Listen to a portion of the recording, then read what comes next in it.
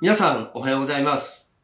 長官原田の時間です。いかがでしょうか？メンタルトレーニング、実践で高めようメンタルトレーニングシリーズ、面白いですね。考え方だけじゃなしに、え本当にこうすればいいよというのがあるのでね、えそれを、え学んでいただいて、実践でね、ぜひ、えやってみてくださいね。それがえ願いです。さて、今日のクレードです。これはね、リラクセーションのところで少し学んだんですが、ちょっと考え方違うのでね、まずお届けしましょう。今日のクレドです。セルフマッサージスマイル。セルフマッサージスマイルで、今、ここに立つ。画面出てもうた？セルフマッサージスマイルで、今、ここに立つ。元気アップで、いってらっしゃい。画面から出た？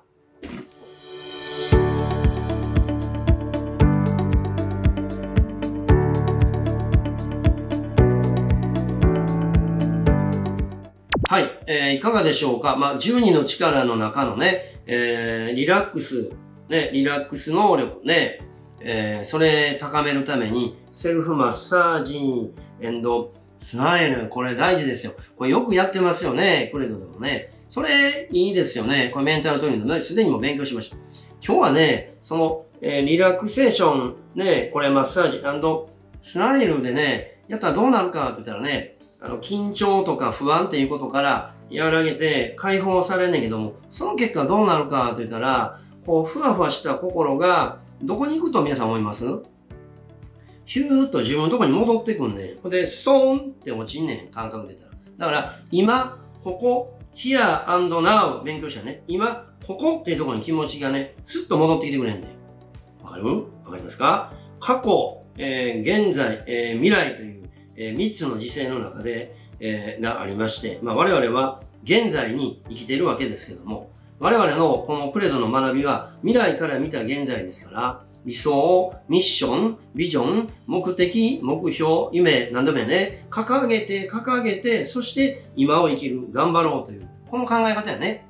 だから、えー過緊張状態で、強度の不安な状態ではあかんので、えーセルフマッサージスマイルで気持ちを、ストレスを解放させたらどうなるかって言ったら、その気持ちが過去の失敗とかくよくよ未来のわからないことに不安いってたやつがヒューッと戻ってきて、ストーンって、皆さんの足元、今ここに自分と一緒に帰ってくるという、まあ、そういう形かな。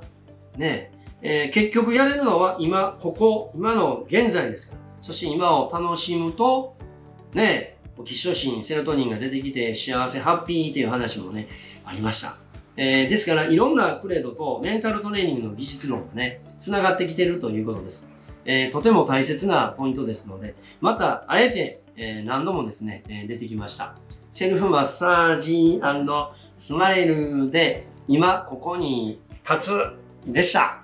いかがでしょうか？元気アップでいってらっしゃい拍手お願いしますよーお今ここ、好きやね。